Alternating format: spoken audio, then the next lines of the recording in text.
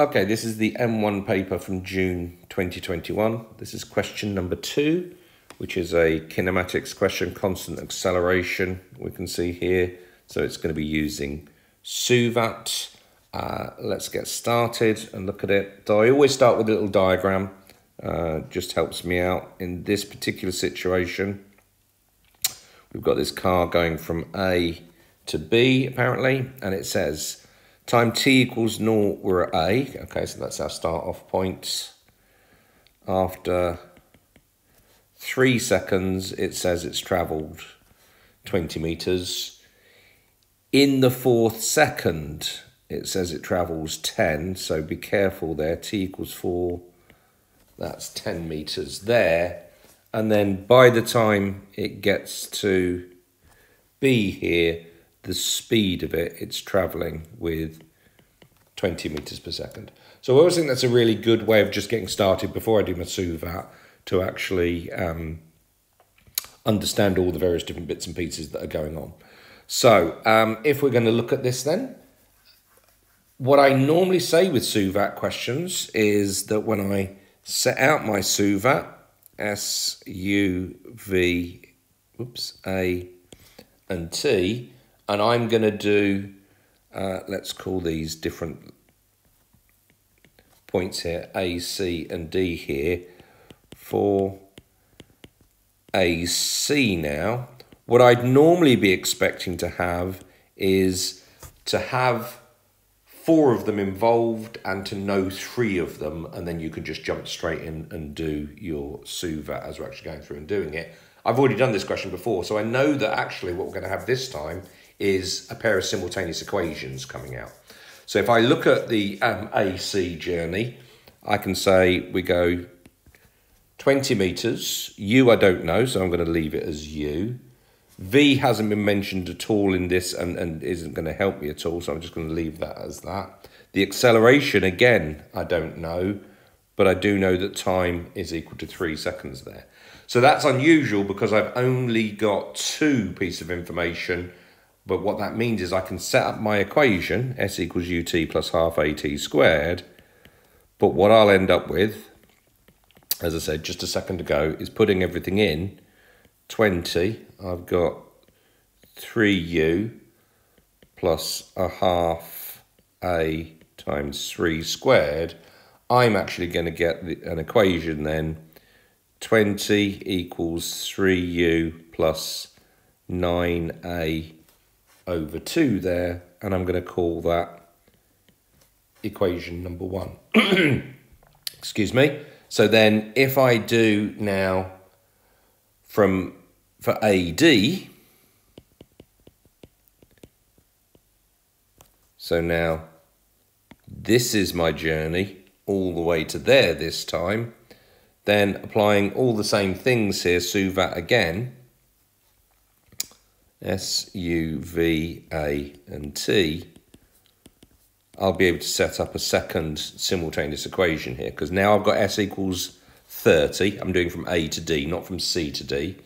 I need to do from A to D and then A to C so that my U stays as the same for both of them. If I consider just that little bit here, the U here would be the V of the first one. Don't get involved in all that. That's just going to get too complicated.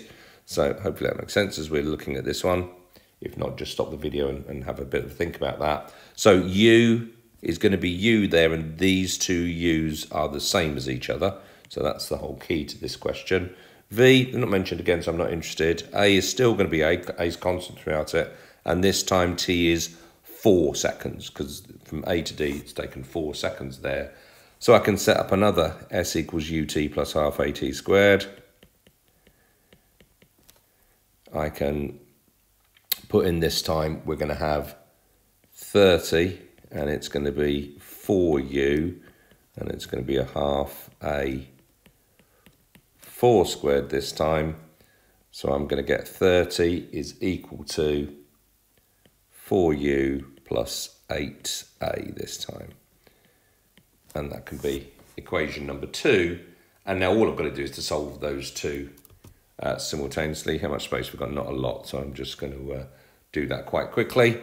Uh, if I multiply that one by 4 and I multiply that one by 3, I'll end up with uh, 80 is equal to 12u plus 18a and I'll end up with 90 is equal to 12u plus 24a and again the whole point about multiplying them by 3 and 4 is if I multiply them by 3 and 4 then the u's will cancel won't they because they'll both be 12u.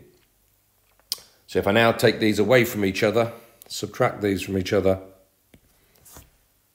I'm going to get excuse me, minus 10 is equal to minus 6a. So a works out to be equal to 5 over 3. Once I've got a equals 5 over 3, I can then put that back into either of those two equations to work out what u is. And as I say, because I can see I haven't got any space here, I'll let you do that. u works out to be equal to 25 over 6, if you put that back in. And now coming back to the question, um, what they want is to find the time, oops, the time for this journey all the way to be there now. So I'm going to set up Suvat for a third time here, but because I know U and A. This is going to be nice and easy to do now. So for AB, the whole journey, Suvat. Really didn't give us a lot of space for this question. One page, maybe I'm taking too long to do it. Um, so for that journey then, from A to B here, not interested in S, I mentioned S at all, but I now know that U is 25 over 6. I know V is equal to 20. I know the acceleration is equal to 5 over 3. So this is our classic SUVAT where we've got three of them and we're looking for the fourth one. So in this case, V equals U plus AT. So if I do that, V equals U plus AT. So I've got 20 is equal to 25 over 6 plus 5 over 3 times T so just rearrange all that. And if you rearrange all that, T works out to be 9.5 seconds apparently. So interesting SUVAT question there where um, they do occur every now and then.